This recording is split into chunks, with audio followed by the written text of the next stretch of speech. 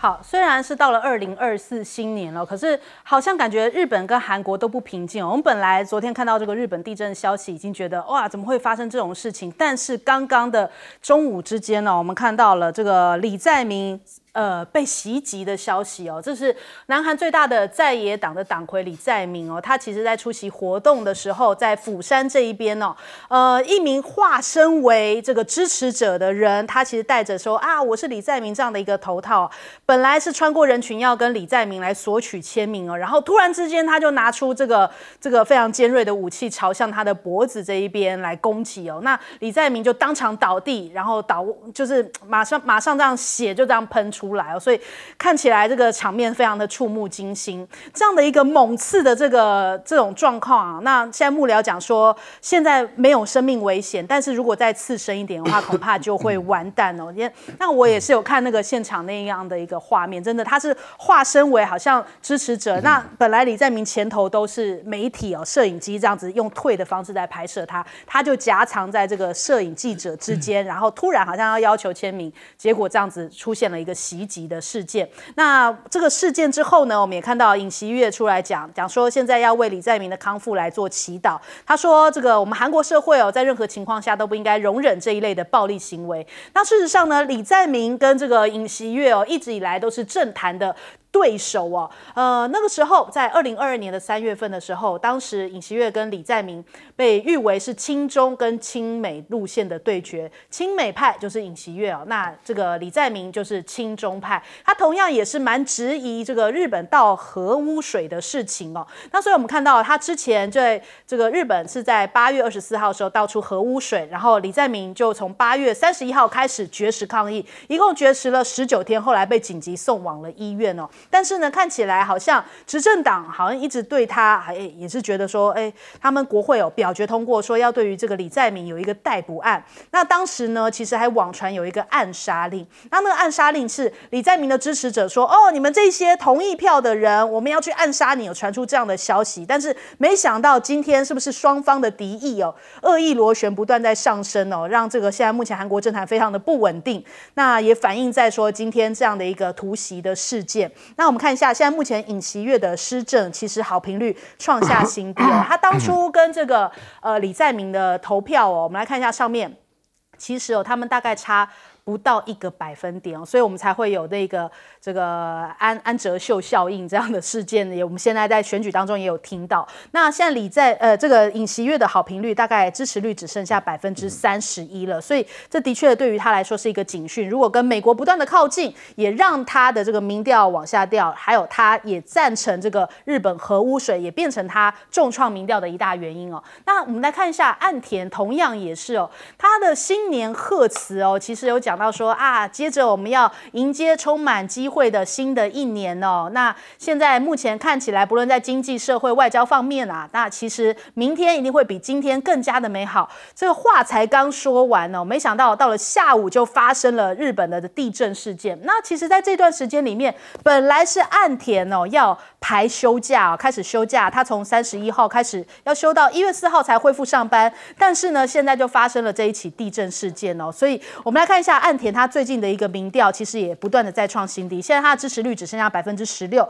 比起上个月下跌了五个百分点哦，甚至有七成的人认为自民党应该要解散呐。那另外我们来看一下这个地震，当然也是引起全球的瞩目跟震惊哦。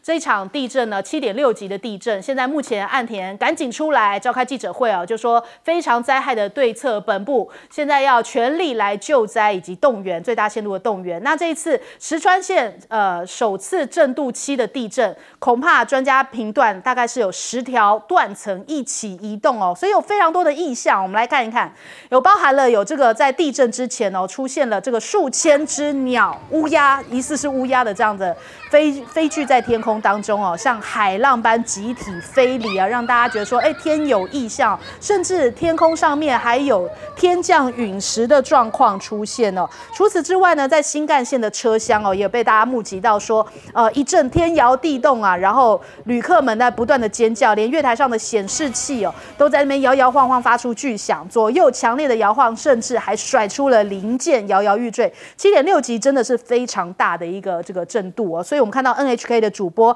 也非常罕见的用强烈的口吻呼吁民众一定不要轻忽警报，不要犹豫哦，请想起三一一大震时候的灾难，立刻往高处避难。所以看起来这个新年二零二四，日韩都传来不平静的消息。这首先我们来请教一下赖老师，尹锡悦目前来说，他面临了很多的困难啊，因为他的民调支持度一直往下跌，呃，他的负面啊一直往上升，他所属的政党在今年四月份的选举，呃，对尹锡悦来说绝对不是一件好消息。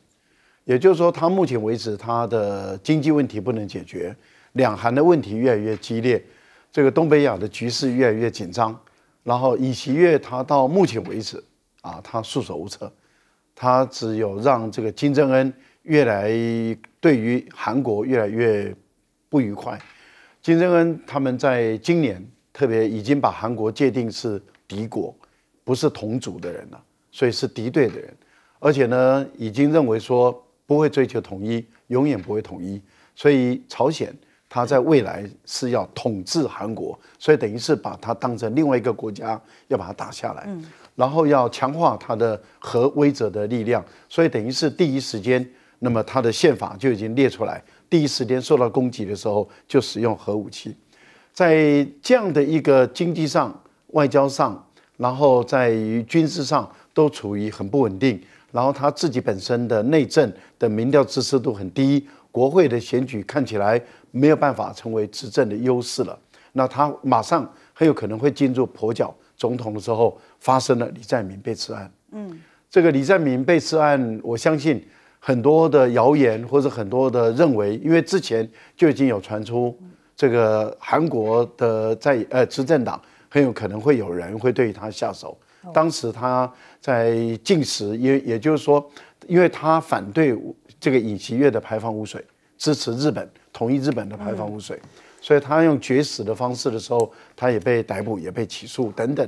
那我们看到，对于李在明这次的被被被刺，我觉得对于执政党目前来说，绝对不是一件好消息。还好那位凶手当场被逮捕。嗯，那目前来讲，他拒绝说话。嗯，那未来能不能问出什么口供，了解他为什么做这样的一件事，这个对未来会有帮助。岸田文雄跟尹锡悦目前是难兄难弟。岸田文雄我们可以说他干到天怒人怨，这次的大地震我们可以说是天怒了。那人怨在哪里？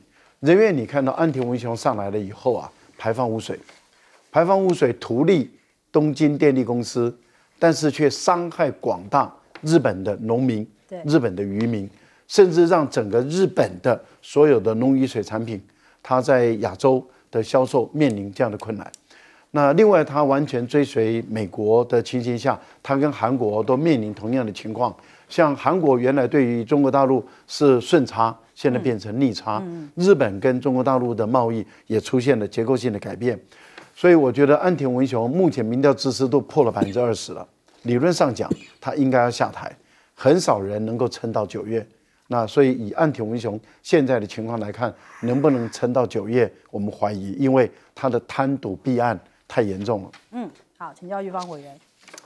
对，这两个这两个国家的执政党有点同病相怜了啊，同病相怜。而且日韩国人对日本人是非常痛恨的，因为日本人统治韩国期间是非常的残酷啦。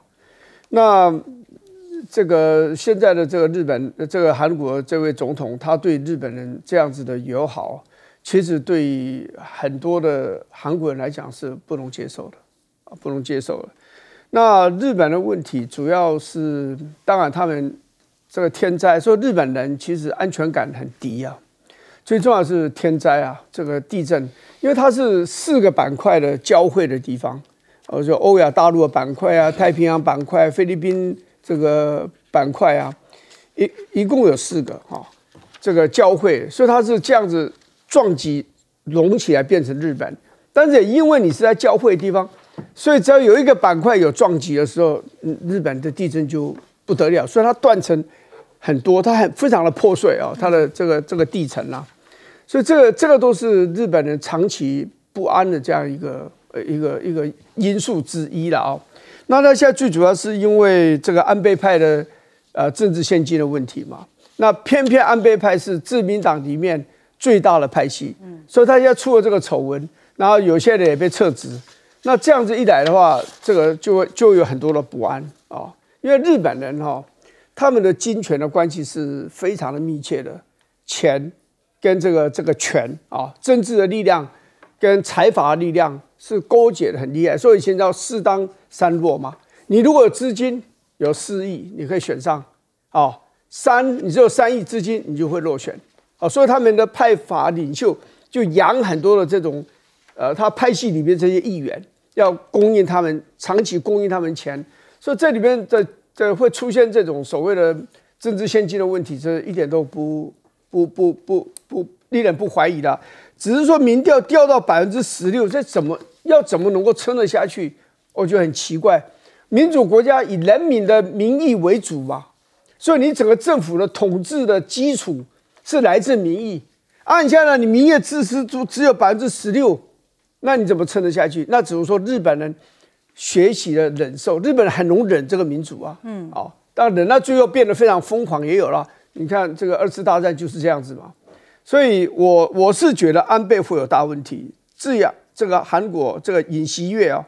我认为他在选举的话，他不见得会这么顺利。嗯，因为因为韩国人的个性是非常强悍的，他们没有办法接受他对日本人这样子的啊一面倒的这样的一个啊啊和好的这样的一个姿态。嗯，好，请教郑老师。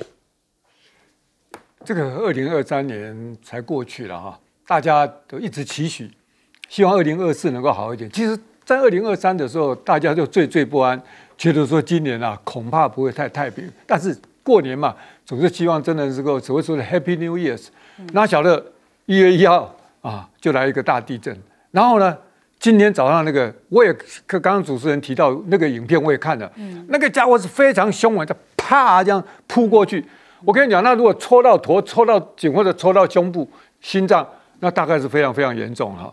他那个是要置之于死地的，而且他就带了一个好像 Happy 生日快乐的东西，假装是他的支持者。我看因这个那这个李在明这个他低着头，然后前面他叭就过去。现场听说有五十个警察，防卫也很森严啊。可这个东西还是发生，那是要置之于死地。他到现在这个凶手一直都不开口，那到底是什么样一个原因呢？后面有什么样的阴谋呢？重点是迎来的是一种动荡不安。他就是两个都是在我们的邻居，日本还有各种各样的。天象各种各样的意象，就忽然间感觉说这个年呐开的真的是太不平安了。嗯，你更不要讲说红海那边，大家也看到啊，开干起来了啊，那个被被也门的那个船被打掉，那不止这样子啊，那个俄国乌乌克兰战争，大家想说耶是不是准备要慢慢收了？结果哇，又来个大轰炸，那乌克兰也反击，全世界就是一片乱象，那我们感觉是非常非常的不安的啊。韩国其实是不止这样子。十二月三十一号，北朝鲜他们的。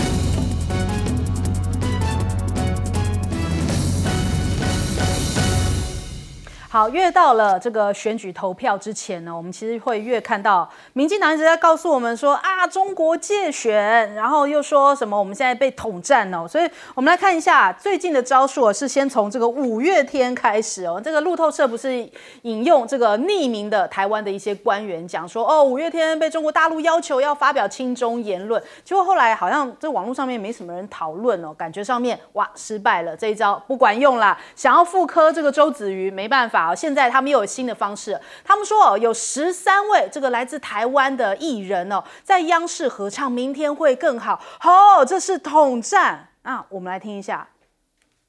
出你的热情伸出一双手让我拥抱着你。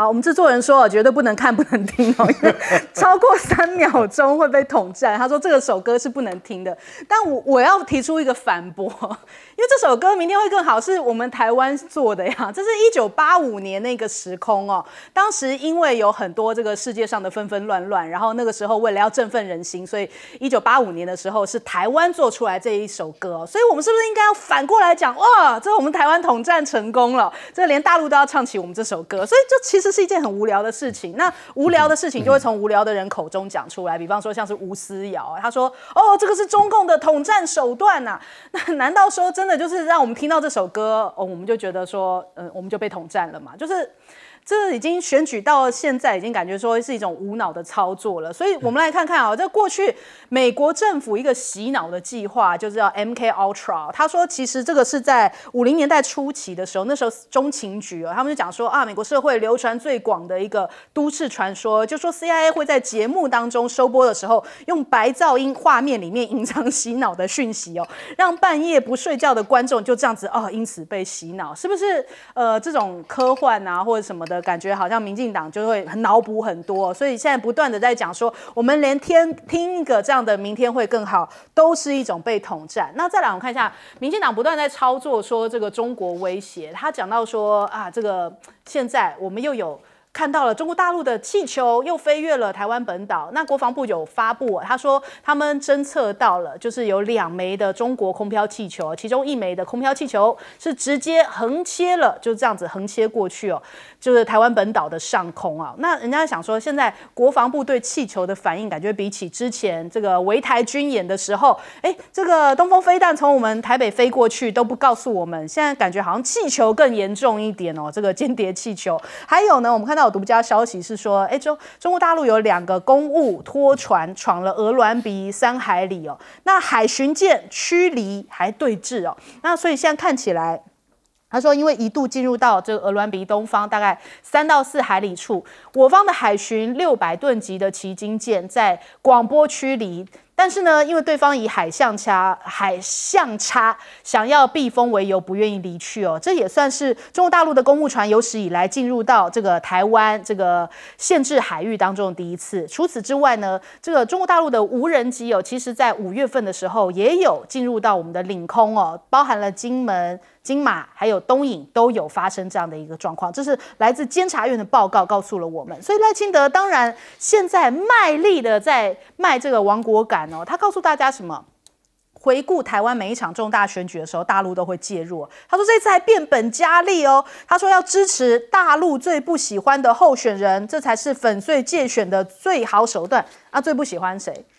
就好像言下之意是最不喜欢他啊！你不是很友善吗？你不是还要跟习近平吃晚餐，还要请人家喝珍珠奶茶吗？那最不友善的会是最不喜欢的会是你吗？那再来我们看一下大陆，他说没日没夜的用战机威胁台湾哦，但是对外最大的外资还是台湾人哦。他说大陆要感恩的意思哦，就是二三十年来对大陆的投资超过了两千五百亿美元，对岸怎么不表示感谢，还处处威胁哦？这样子有道理吗？所以你感觉赖。清德讲话就是变来变去，一下子说哎我们要跟大陆做朋友，一下子又说哎大陆最讨厌我，一下子要跟习近平吃个晚餐喝个珍珠奶茶，一下子又说哦这个你们要感恩我，所以他其实是是不是有点错乱哦，让我们听的也很乱。那另外现在这个绿营哦，感觉上面这个昨天我们听到了在辩论会场上面，其实有提到这个核电厂这件事情，因为民进党的神主牌就是要非核家园嘛，那。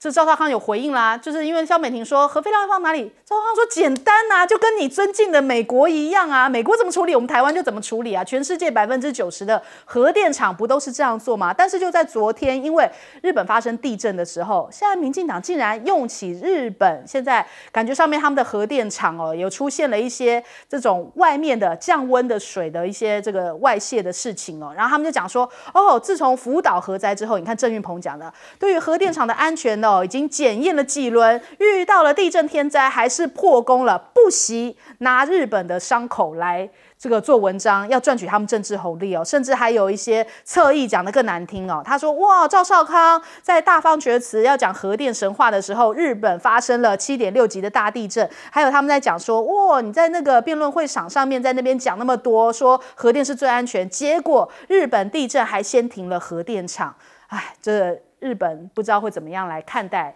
这个民进党的一个操作。那我们来问一下郑老师怎么看？就是我们难道听手明天会更好，就会被统战吗？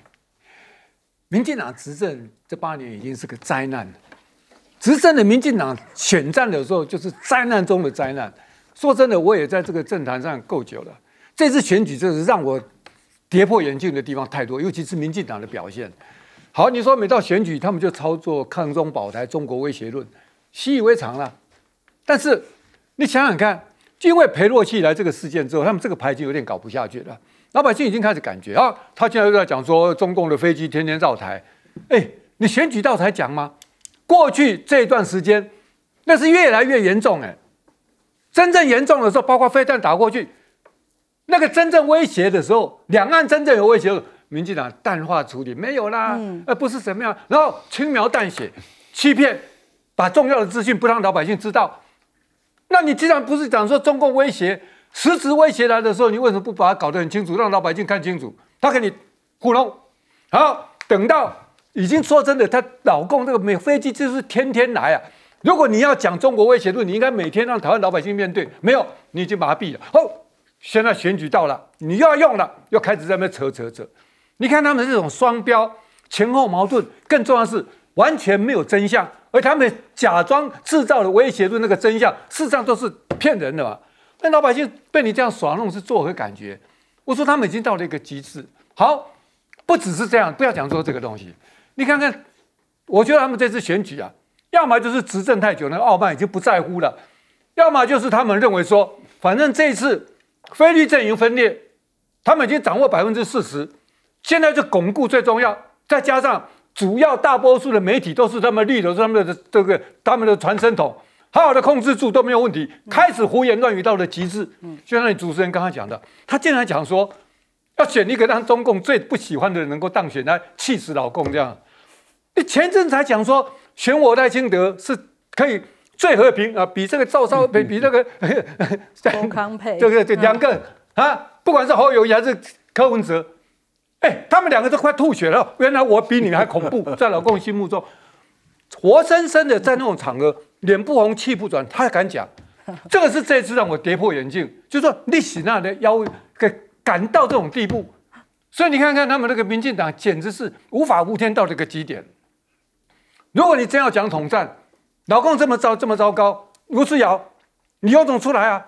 这两天我看了个新闻，昨天一月一号，中共前一个阶段通过好几个如何支持让两岸怎么样能够融合啦、建设各种各样一个一大一系列的措施，台湾有认真报道吗？既然如果是每一项都是统战，那你就讲清楚啊！他有十项，你就讲十项；二十项讲讲二十项啊！哎，这一部分对台湾有利的。你们可避开不讲。昨天他们福建通过十项，哎，有一个人已经拿到福建定居证，这个同战啊，你来讲啊。可台湾老百姓搞到看到这种统战，心向往之哎。吴世尧，你为什么不敢出来讲？他还是选举到了，选择性的胡言乱语。你既然老共是统战，那你就把所有的全部的统战，包括那边的投资，包括各种各样的优惠，包括对台政策，全部把统战政策让老百姓、台湾老百姓看清楚。你们选举到了就这样操作，你不是欺负人吗？真是灾难中的灾难。嗯，因为这明天会更好，我真的其实有细查一下，它是一九八五年的时候，我们双十节本来要推出的一首歌，那后来是一直后来变成了延后，到了台湾光复四十年就往后延后，在光复节的时候所推出的，就是啊群星一起来振奋人心哦。那时候这个关中他出了回忆录的时候，还有讲到是蒋经国授意哦，也就是说他们去做一首激励人心的歌曲哦，也就是说这个其实有国民党的色彩在这其中哦。这算是谁统战谁哦？怎么会被民进党断章取义变成哇？听到歌就要被统战，真的是贻笑大方。我们来问一下玉芳委员，这一条歌就可以让台湾士气这个瓦解？那这条歌为什么太厉害了一点吧？全世界从来没有过一条歌可以打败 这个这个这个一个民主国家的士气的，没有这回事的嘛？现在先讲这个赖清德哦，那美国人对他是非常不放心的。所以他上次路过美国，其实人家接待的规格是一般般的哦，比起侯友谊还有十几位国会议员啊，见见到见到面是完全不一样的。现在讲的就是说，你今天赖清德这样子的僵硬哈，尤其说出中华民国的宪法是一场灾难，哇，你让美国人对你更不放心啊！美国更加认为说你这个人，这未来这两岸关系在你手上一定搞乱七八糟的啊！我我我是不了解，就是说一个有这么丰富经历的一个政治人物，为什么这样子的意识形态，然后这样子的僵硬，一点都不柔软？那两岸的问题是非常复杂的问题，所以只有一个就是说很实实际，然后呢很务实的这样一个政治人物，才能够去掌掌管这个掌控这个问题。你像民进党一直批评九二共识，我也不认为九二共识什么了不起的东西，但是在马英九的那八年，九二共识并没有带给台湾灾难呢。所以你要看他的成绩单来讲呢，这九二共识并不是什么洪水猛兽，对台湾的尊严呐、安全会有所损伤，没有嘛？所以这完全是民进党自己提不出东西可以替代九二共识，所以呢，他才这样子百般的去打压嘛。现在讲的就是说核电厂的问题了。日本原来有三十三座个的机组的核电厂这样一个机组，你在现在已经恢复了十二座。当时二零一一年的时候，三月的时候发生了福岛核灾，全部都停下来。后来说这不行啊，要一直买煤、买天然气，花了太多的钱了，说慢慢恢复。现在已经恢复了十二座，而且最近呢，这恢复了一座，在这个新细线那个地方，那个电厂我还不太会念，博奇一宇啊，这是全世界最大的这样一个电厂。它的发电量可以八百二十一点二万千瓦，日本日本政府解除禁令了，一说它可以恢复了。那这次的地震的确带给日本很大的惊吓，可是民进党你在高兴什么？对日本的核电厂一点都没有损失啊，没有造成任何的事故啊，没有人因为这样子受伤受害啊，没有啊。说核电厂像看起来。是没有问题的，有问题的是人那个心呐，那个心太坏太丑陋啊。嗯，我认为就是民进党的就是这个样子，你就是故意把核电核电厂讲的很可怕很可怕，因为你不想让核核电可以继续生存下去嘛。嗯，所以难怪当初云豹公主说什么重启个屁啊啊！那我们来问一下赖老师，吴思瑶应该已经看了这个影片，嗯哦，所以吴思瑶也很喜欢看大陆的。这个年节的啊，春节的晚会啊，呃，但吴思瑶有没有被统战呢？吴思瑶，你有没有被统战？如果你没有被统战成功，那我们的问题来了。那你认为台湾人都比你笨吗？你比台湾人都聪明吗？你不能瞧不起台湾人哦，你不能瞧不起你的选民哦，你不能那么骄傲，认为台湾人都比你笨，所以台湾人看了都会被统战。然后你比台湾人都聪明，所以你看了不会被统战。我觉得不能够这样瞧不起台湾人吧，尤其你不能瞧不起北投人呢。你如果这样瞧不起我们台北人，我们台北人可不答应哦。所以我们台北人没有比你笨，然后你看了都不会被统战，为什么我们看了就会被统战？嗯所以我觉得这个也很奇怪。更何况这首歌是我们台湾写的，嗯台湾发扬光大的，大家都喜欢，嗯两岸都喜欢。那是好事情啊！对啊，那两岸都喜欢是好事情，你为什么痛苦呢？你为什么生气呢？而且台湾的艺人，在大陆那个发光发热，对他们是好，对我们也是好啊，嗯，都是好啊。你为什么那么恨呢？你为什么那么讨厌台湾人成功呢？我就不太了解，为什么你对于台湾人成功，你都那么的痛恨？呃，这不行的哦，你不能对台湾人很很不友善哦，要多尊重一点台湾人，多爱台湾人，不要瞧不起台湾人的艺人，特别是台湾人的艺人成功的，要多尊重他们。还有赖清德，我觉得赖清德对大陆太不了解了。赖清德，你对于大陆的网民，你知道他们最想这次选举谁当选吗？大陆的广大的网民，我很负责任的说，对。他们最希望就是赖清德当选，因为他们认为赖清德当选无统进了，嗯，两岸就统一了，啊，所以赖清德你弄错了，大陆最想你当选，然后呢赶快统一，因为你一定会引爆战争，因为你一定会搞台独，除非你不敢搞台独，除非你又欺骗台湾人，你根本不敢搞台独，然后呢，所以你又躲起来，不要老是碰到事情就躲嘛，这个人。嗯，好，我们先休息一下，广告之后马上回来。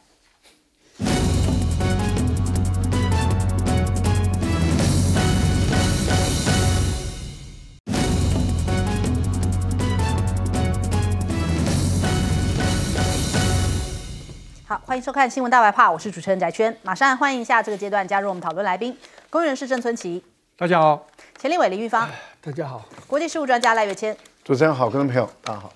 好，昨天的辩论会上面，我们看到赵少康跟赖清德的直球对决啊，他辞中广董事长，然后呢，呃，这个赖清德的赖皮聊事件现在到底怎么样处理呢？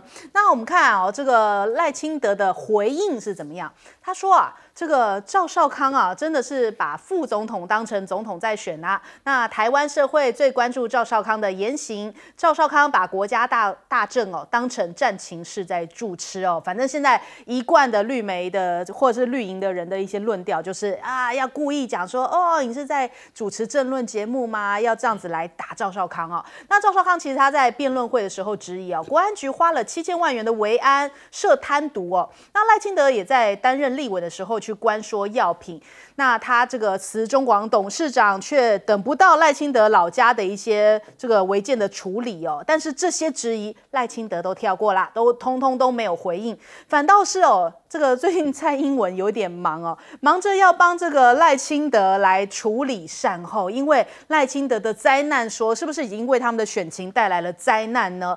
这个蔡英文赶紧强调啊，他说宪法不是风险哦，风险是在跟九二共识连接才是哦。那你看这个赖清德从头到尾这个表情啊，之尴尬，我们来看看。那想要请教一下赖副总统，这八年您担任行政院长跟副总统。那在执政团队中，您认为国家是有什么样的一些转变？那您对于台湾的未来是否有信心？还有您对于明年的元旦有没有什么样的期许？他说找时间另外跟你们说，你们另外开个记者会吧。其实昨天这个尴尬场面上演好几遍哦，还有这个我们 TVBS 的记者婷婷，她问了，就说：“哎，赖清德好像在唱到国歌《五党所中》的时候没有开口哦。”那蔡英文的表情哦，就是这样子，嗯，就是啊，就这样子，好像。呃，看过去赖清德那边，赖清德也同样是那个好像做错事的小孩在旁边哦，然后他就说，哎，这是我的记者会哦，那不然让赖清德另外开个记者会回答你们。所以感觉上面蔡英文这一回要赶紧出来帮忙拆弹嘛，所以这个赖清德是不是 这个看起来哦，这个蔡英文感觉上面说话好像刻意轻松，但是你看赖清德姿势僵硬的很，面露尴尬，好像做错事一般哦，话画面跟肢体动作都说明。了一切，赖清德这个灾难说已经在这个民进党内弥漫了一股这个诡谲的气氛哦。那另外我们看一下这个蔡英文出手缓颊，呃，出手救援。那看起来他说只见这个栽赃跟阳谋早晚会被看穿呐。赖清德听训半天，炸弹没有拆啊，那盖瓜承受这个菜。也会被看破手脚的啦，迟早的事情。那我们看一下赖清德到底是不是很没担当呢？这样的事情必须要这个蔡英文出来帮忙，这个擦屁股善后哦。以前这个二零一三年的时候，赖清德不是讲的信誓旦旦的吗？力挺吴乃仁，愿意用他的政治生命来保证这个吴乃仁跟洪其昌的清白啊。结果后来。也没履行承诺啊，他还在政坛哦，他还要选总统哦，所以他好像没有记得他之前保证过的事情哦。那再来，李全教两百三十二天不进议会，但是呢？呃，不同的标准看待邱丽丽社会选，哎，只有停职处分。所以，我们看这管中敏啊，有感而发，他在脸书上面发文，他说赖清德当年当行政院长啊，指挥部会这个打压台大，迫害校长当选人的时候，威风凛凛，杀气腾腾啊。如今面对到质疑的时候啊，敢做不敢当，只会闪躲卸责，这是什么样的担当啊？而且你二零一九年的时候面对网军攻击哦，那时候赖清德你是在镜头前哀求。总统，请愿约束你的这个网军哦，这是什么样的骨气哦？所以他就想到了《史记》当中荆轲刺秦王当中的秦舞阳，呃，敢在市井杀人，但是呢，看到了秦王却这个色变震恐，我所见者亦不过是这个秦舞阳之流耳啊，讲的就是赖清德，就是明明要去这个荆轲刺秦王，结果却当场吓傻了。呃，那我们看赖清德也讲到，他说管中敏会这么不开心哦，是因为呃，他他讲说。其实哦，管中敏能够当校长哦，也是我担任行政院长的时候核定的啊。那你怎么不说卡管也是你呢？那被舆论凌迟的时候，你也是这个行政院长啊，你都只会挑这个某一个面向来讲话哦。那所以我们来看一下，这个蔡赖是不是都活在平行时空哦？就有网友在酸这个赖清德，赖清德引用一句说啊，还没到冬至就在搓汤圆呐，这痛批这个国民党黑金。就有网友在讲说，哎，冬至都过了，你还在活在平行时空吗？蔡英文是不是这一句话也感觉好像不太知道现实的情况？现实的状况就是赖清德很难再获得同样跟蔡英文一样的支持度哦。但是蔡英文却在新营浮选的时候连喊了两次，说不在意赖清德的票数比我高哦。那问题是有可能吗？蔡英文你的八亿七万票算是破纪录啊，但是民进党执政八年的民怨高涨，你还期待赖清德可以得到更高票吗？所以吴子嘉就预估啊，他说现在。柯文哲可能扮演一个关键角色，因为柯文哲跟赖清德的票在浅绿这一块啊，可能是互通性比较高一点哦。如果柯文哲的票这个得票率到了百分之二十五，很有可能就会拉下赖清德。那我们看一下这个尤英龙，他也有分析哦，他说现在。这个赖清德哦，封官民调三成徘徊，连金本盘都没有吗？主要的原因，他说呢，就是蔡英文执政变成一个扣分的状态，所以他预预估哦，这一次民进党的立委恐怕会痛失十五席以上哦，而且卢秀燕正在带头扳倒蔡启昌。蔡启昌如果被扳倒的话，他上次立委选举当中啊，选到超过十万票，这次恐怕还会被硬拉下来。对于民进党来说，不寒而栗啊！那首先我们来请教一下郑老师哦，怎么看现在这个赖清德四两拨千斤？昨天其实赵少康蛮多直球对决，他都没回答。我看赖清德这个选情这两天大概出了一些状况，出现他们那个灾难了哈。那赵少康就是直直球对决，他那个回应实在是蛮奇怪了，因为我以前也会上这个少康战情室，那就是当做战情室处理，有什么不对呢？战情室至少是论证啊，至少是个很认真面对的啊，至少是个监督啊。你们民进党执政烂得一塌糊涂，那你现在人家问你一个，你这个住宅跟赵少康要辞职，你不直接回应，你忽然间拐个弯去骂说跟这个啊这个当做国家大政，当做政论节目在处理。我们台湾的民进党把国家大政搞得比政论节目还不如，连掩护你们那个绿的。那个烂的那一大堆烂名嘴，都比你们国家在这还比较有收视率高，你还敢讲这种话？所以你看他简简直是一次左支右绌，显然呢打到要害了。那特别你看看蔡英文还要跳出来帮他讲话，他那一天在那个重要的辩论场合，竟然我不认为那个失言，那个是真的是真心流露。嗯，事后发现说大事不妙了。好，第一个大家都已经都在讲了，他把中华民国是灾难。事后凹成中华民国宪法是灾难，有解决问题吗？中华民国的宪法你都认为是灾难，那你你好，他事后又不能够解决问题，那显然更大的一个后效后续效应在出现。关键是怎么是蔡英文跳出来了？我觉得他们乱的方寸。第一个，你身份不移嘛，你今天从总统出来帮候选人在那擦屁股，那就证明说，第一个蔡这个赖清德错了嘛，第二个他无能嘛。第三，就是说你要来帮他掩掩护，就表示战情选情非常严重嘛。你不是透露一些都是个负面的讯息吗？嗯，好，那你说蔡英文今天出来帮赖清德要圆谎，你也圆得很烂啊。他说是宪法啊，不是问题，不是危不是风险，跟九二共识连在一起才是。你这个说法也是很奇怪啊。你至少可以论述一下，为什么中华民国宪法跟九二共识连在一起是个风险？你也没讲清楚，而且他用这个左右公司是风险，还是影射到蓝军、影射到侯友谊这一组？显然蔡英文还是用打选战的方式在反击、在回应。好啊，那你整个让人家老百姓看到说，这么重要的政治辩论节目里面，你赖清德一个国家定位的问题、国家认同问题，你就讲的这么一塌糊涂。第二个，当你出现这个问题的时候，你危机处理又这么糟糕，你越变越抹。你就越抹越不清楚啊！第三，你们整个团队竟然用这一招，讲不客气一点，你这个你蔡英文是上市的，你这个上市出来为这个下面这个，你简直是让是赖清德于何地？关键是他们竟然认为无所谓，他们认为 OK，然后你看看蔡英文再重讲一遍，他讲的那个论述你也高明一点吧。你既然打脸的这个赖清德，你这成就等于是说，就就在旁边就教训他，说你昨天怎么前几天怎么讲那个严重的事情，然后你讲说跟九二共识连在一起是个风险，我们也听不懂啊。那就表示说，你看你站在那个位置，还是在那边竞选。你今天严格这么一个严肃的记者会，你要是没有蛮好，要不然你就避开这个问题，要么你就说，哎，这个赖清德家自己去回答。刚刚不是看到吗？说有些问题叫他另外开记者会，你为什么要替他回答？他很清楚是有备而来，他觉得要重新定调，要重新洗牌，要把前面的这个带带出来的负面后果要能够遮掩掉。结果呢，适得其反。所以你看他们总整个团队。在危机处理上面，那我就感觉，国家大政如果继续交到他们手上，连自己出了一个小问题都已经一塌糊涂、手忙脚乱。如果真正外来的压力来的时候，他们还能够继续主持国政吗？真的是把国政搞得比比路边摊还不如。嗯，其实蔡英文哦，在元旦谈话的时候，感觉上面真的是非常卖力，在帮这个赖清德 在浮选哦。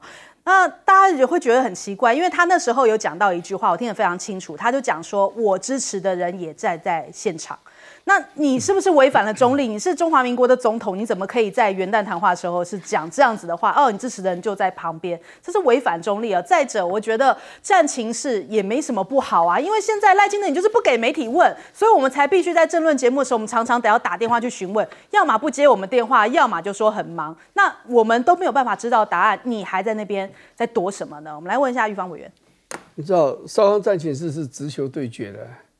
像你赖清德这样的表现，那个战情室大概不会请你上台，因为你讲不出什么东西嘛，都闪闪躲躲。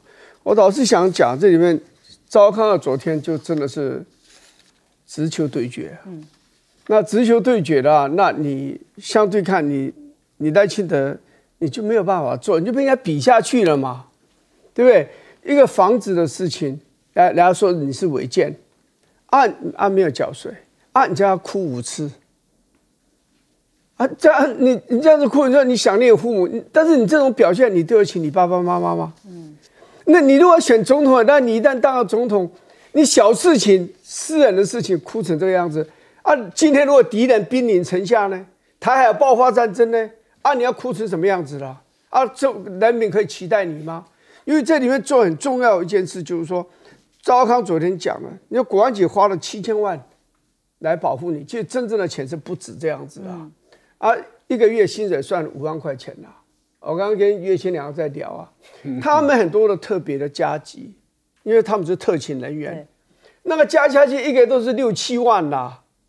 那分三班在那边看的话，嗯，你说讲二十个人在里头，每天有分三班，我相信是真的有二十个搬出来床垫，听说就有二十个嘛。嗯。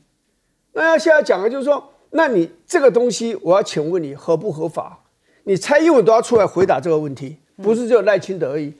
怎么一个没一个副总统没有住在那里的房子？副总产权是副总统的儿子的房子，四年来，你国安局凭什么派人去保护他？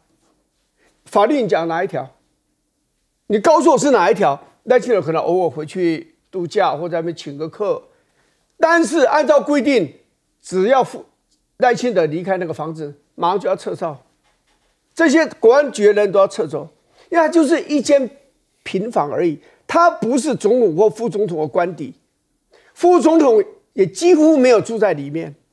那你为什么四年来浪费这么多钱？而且这些人变成你赖家的私人的保全人员，哦，还有呢园丁，帮你修修这些整理这个。还帮你清洁，那我请问你，一个国家的公器是这样使用的吗？国家资源是这样浪费的吗？那我告诉你，这不是贪渎。什么叫贪渎？你不应该使用国家的资源，而你动用国家的资源，而且数字是如此之庞大。嗯，我请问你，赖清德，你要不要还这笔钱？第二个，你有关单位，你要不要调查这件事？啊，这个不叫贪渎，什么叫贪渎？是不是有人开会多领那个便当，那就要法办他？嗯，啊，你一你一年搞掉七八千万，那这个可以不办吗？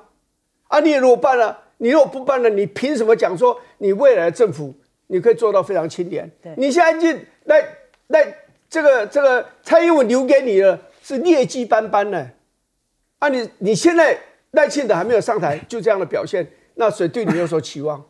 嗯，好，赖老师，张德康还不是中华民国副总统，他是中华民国副总统的候选人。嗯，然后就被赖清德等他们的集团啊批评说是正美两栖，所以就把中广董事长就辞掉了，那就专心的以一个候选人的身份来选。啊，你赖清德是现任的副总统，你的房子违建，你的房子违建你舍不得拆。你现在是要选总统，又被掏出来，是很严重的违建，而且是违建到两百多平左右，包括这些公园的建设，甚至还有侵占国土的嫌疑。结果被讲到今天的时候，他就是死皮赖脸的，就是不拆，也不回应。碰到他个人的利益的时候，他就回避；碰到他个人利益的时候，他就想方设法保护。